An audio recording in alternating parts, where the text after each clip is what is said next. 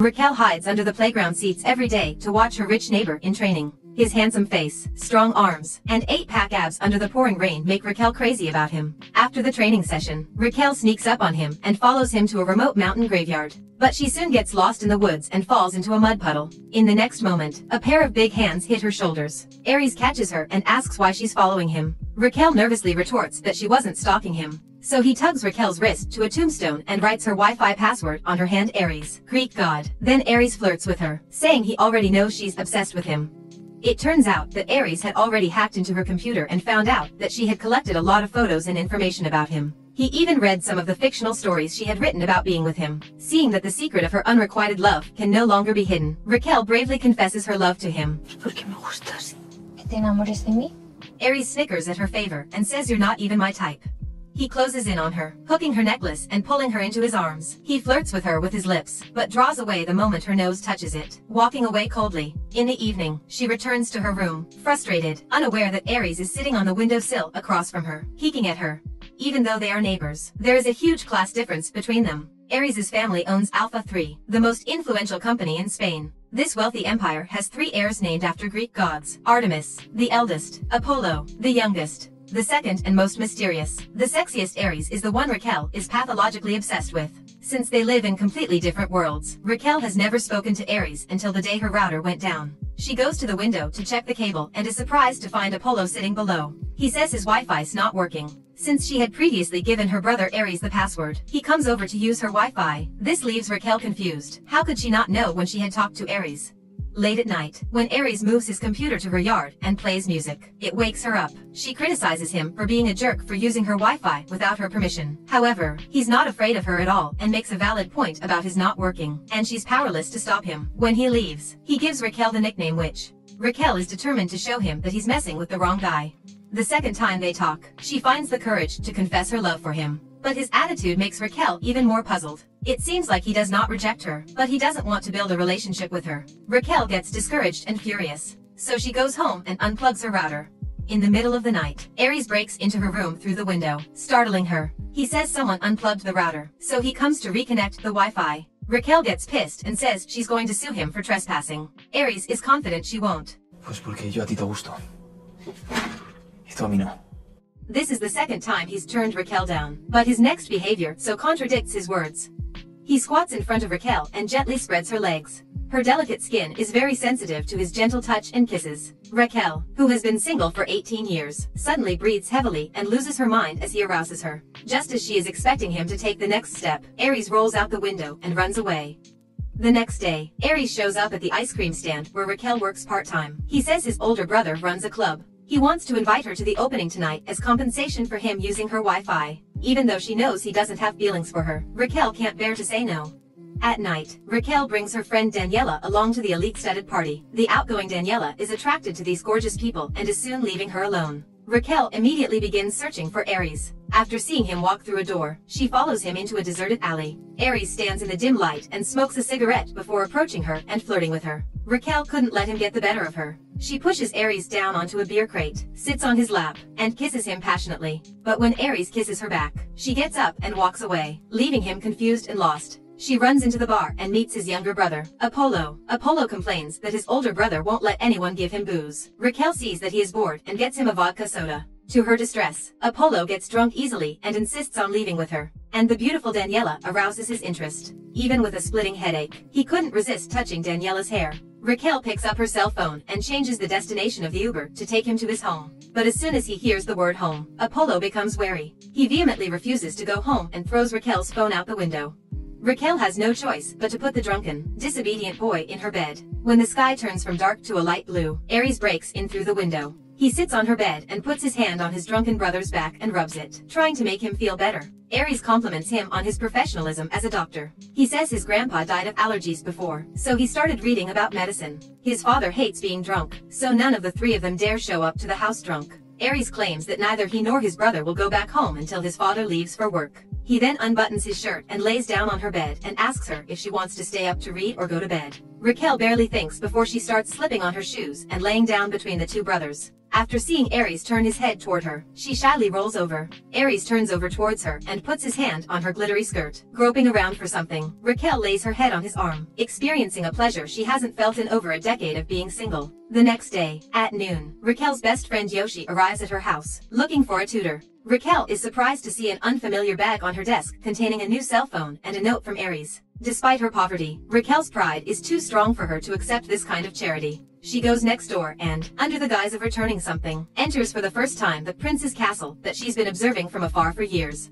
Claudia, the housekeeper, leads her to Ares in the playroom. As soon as she enters, Raquel sees him video chatting with a topless girl. Ares catches a glimpse of her and the cell phone box she's holding in her hand. He hangs up immediately. He tells her to not be so proud and to think of it as compensation for his brother breaking her cell phone screen. Raquel thinks he's toying with her. She gets angry and throws the phone down to leave. Ares comes after her and catches her by the arm. She hates being fooled around by him, but she can't help craving him. The two of them happily spend the afternoon playing on the pool table and the couch. But when Raquel tries to ask him for a little affection, he quickly puts on his pants and starts playing games. Raquel's self-esteem is bruised and she angrily leaves the scumbag. Across two windows, Ares gazes fondly at the necklace she left behind while Raquel writes his story about acting like a bad guy on the computer. The next day in class, Ares sends her a picture of him wearing her necklace. In order to get her belongings back, Raquel has to come to the place that broke her heart again. Apollo sees her and enthusiastically takes her to the pool, where he introduces her to the other rich kids. They play a game of Never Have I Ever and jump into the water to have fun. As Raquel marvels at the housekeeper and Artemis standing in the shade kissing, Ares rushes over and jumps into the pool with her in his arms. After swallowing some water, she rushes to the surface and says it's salty. Ares explains that he's allergic to chlorine. In order to get the necklace back, she walks into her crush's room for the first time in years after peeking in on him. Ares helps her put the necklace on. With the warmth of the sun and the rush of adrenaline, they work out in every part of the room. However, when Ares wakes up, her life takes a turn for the worse. Ares asks Claudia to come into the room and get rid of her. He stands on the rooftop and stares at her resentful back without giving her a word of explanation.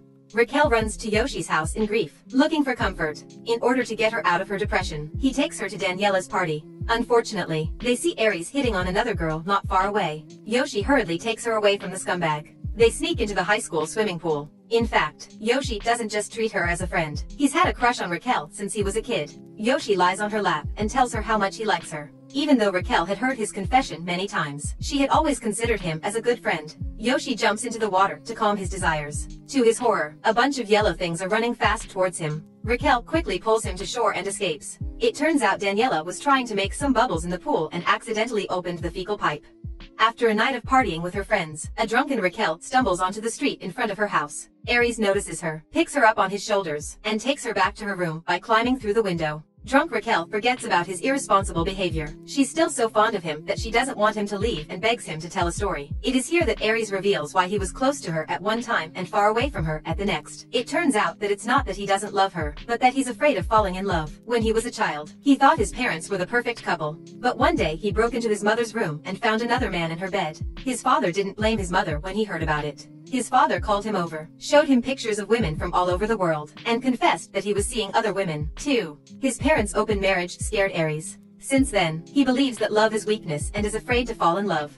Unfortunately, a drunken Raquel doesn't even remember his heartfelt confession. She wakes up the next day and forgets she even saw him last night. Looking at the two messages on her phone that Ares had withdrawn, she thinks he's messing with her again. So she breaks off contact with him. His father and older brother summon Ares to the study because they've noticed his grades have been dropping lately. His father reminds him of his responsibility to study hard, go to Stanford for economics, and get on the board of the family business. Eventually, his father gives him a final warning. Vete a la cama con tantas como quieras. Pero olvídate de esa chica. Ares obeys him, suppressing his desire to see Raquel, but he realizes that without her, his life is hopeless.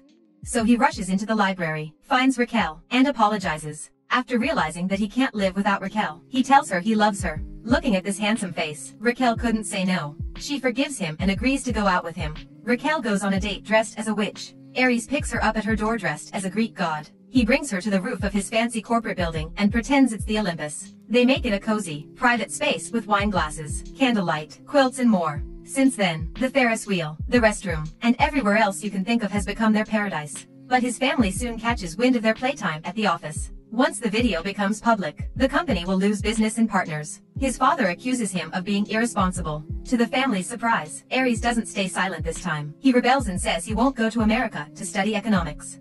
He decides to stay with Raquel. He wants to escape from his oppressive family and do what he's passionate about. To earn money for attending his favorite medical school, he starts working at a fast food restaurant. But his arrogant brother Artemis soon catches on. He couldn't accept that Ares was giving up a promising career and status because of a poor girl. So he throws a company party and invites Raquel. At night, Raquel puts on her most expensive dress and follows Ares to the company. She's nervous about the lavish party and the high-flying elite. Ares proudly introduces her to his parents. His father is still being sarcastic about the last time they played on the top floor. Instead of warmly entertaining Raquel, they discuss the opera, which she doesn't understand at all. Raquel turns her head anxiously and is surprised to see her mother in a waitress's dress carrying a tray. Fearful of embarrassment, she tries to escape, but accidentally bumps into a waiter and falls. The moment she meets her mother's eyes, Raquel runs away, feeling inferior. She thinks Ares prepared all this to humiliate her, so she slaps Ares across the face and runs away sadly. Artemis approaches Ares and gives him a lecture on how to give up this common girl. Turns out Artemis set it all up on purpose. Absurdo mejor quién eres. The huge gap between the two families causes them to break up.